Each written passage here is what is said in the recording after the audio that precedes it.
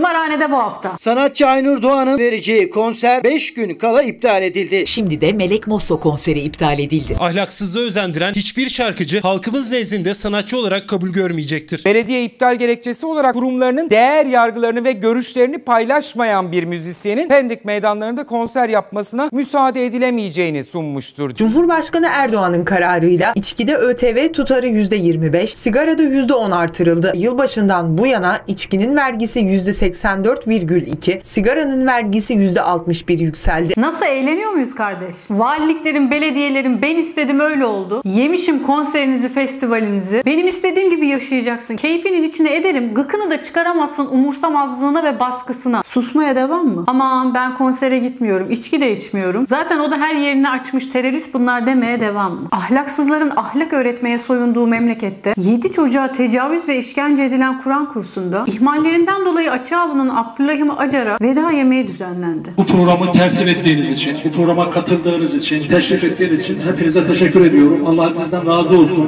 Sabah dedikodu programında ekranların ahlak pazarlama ustalarından biri olan Hakan Ural, hani yıllar önce askerlik yapmamak için çürük raporu olan tip, zekasının %10'una ulaşamayacağı gençlere buyurdu. Ülkenin kendisiyle alakalı yakın geçmişi biliyorsun, geçmişini bilmiyorsun. Bugün bu ülkede ne olduğunu bilmiyorsun. Ama oyu kullanmamaları lazım bence. Ahlak pazarlayanlar pazarıydı memleket mübarek.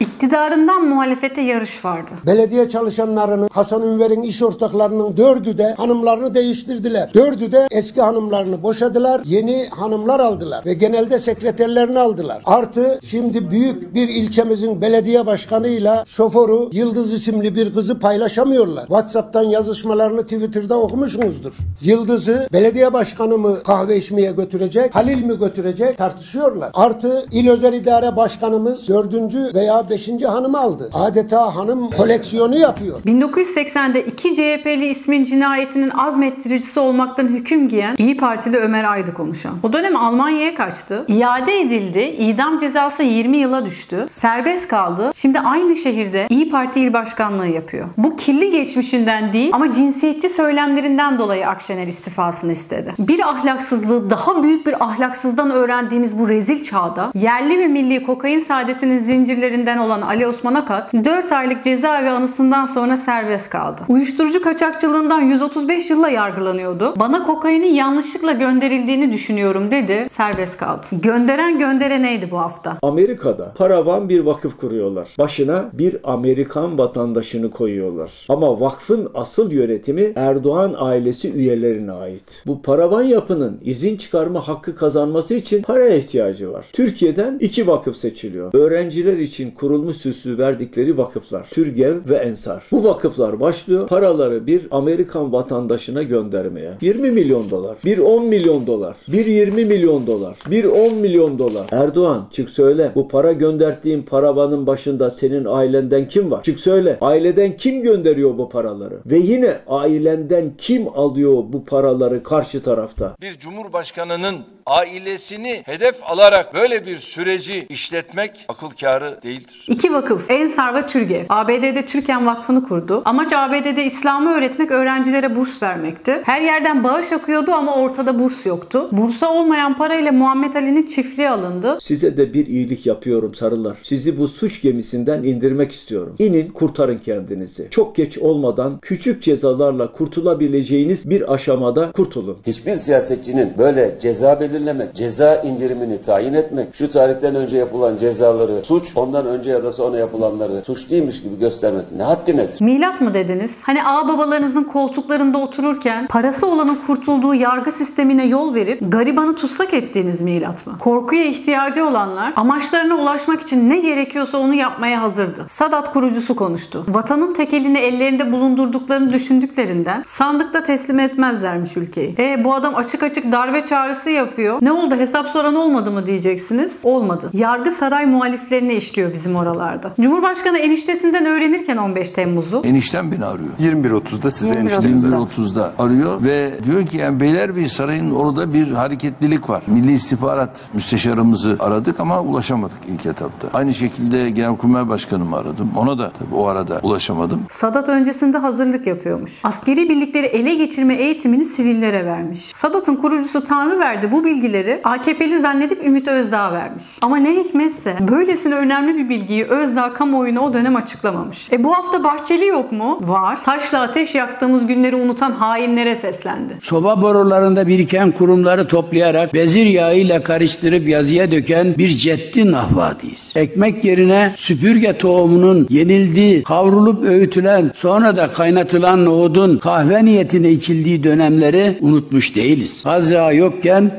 lambada haşhaş yağı kullanan yıllar aklımızdan çıkmamıştır. Yani birileri istiyor ki elde mızrak, totomuzda yaprak gezelim. Var güçleriyle uğraşıyorlar daha fazla yoksulluk için. Şimdi birileri çıkıp aç kaldık diyor. Ya vicdansızlık yapma. Ne aç kaldın? Aç kalan filan yok. Yeter ki bu noktada dürüst ol, samimi ol. Sarayında milyonlar harcayan Cumhurbaşkanı böyle buyururken memleketimin güzel insanı simidin 4 lira olduğunu duyunca fırıncıya saldırdı. Her şey kötü değildi. En acil ihtiyacımız olan o kutlu gün için adım atıldı. O vakit geldi. Milli uzay programımız çerçevesinde bir Türk vatandaşının uluslararası uzay istasyonuna gönderilmesi sürecini resmen başlatıyoruz. O an akıllardaki tek şey tek yön gönderilmesi için sınırlı ve sıralı isim listesiydi. NASA'nın ayak dahi basmayın, eşi benzeri yok bu gölün dediği Salda'da dozerle girip tepesine millet bahçesi yapanlar gölün kirlenmesinin suçlusunu buldu. Özellikle NASA'nın sosyal medyadaki paylaşımı ile tüm dünyanın ilgisini toplayan alanımız çok yoğun şekilde ziyaretçi akımına uğradı ve bu aşırı talep sonucunda da kontrolsüz kullanım ve kirlenmeye maruz kaldı. Nasıl yorulduk mu? Canına okunmuş adalet var elimizde. Evlatları paramparça olan anneler 1417 gündür adalet bekliyor. Dört yıldır bu balkonda yaşıyorum. Dört yıldır.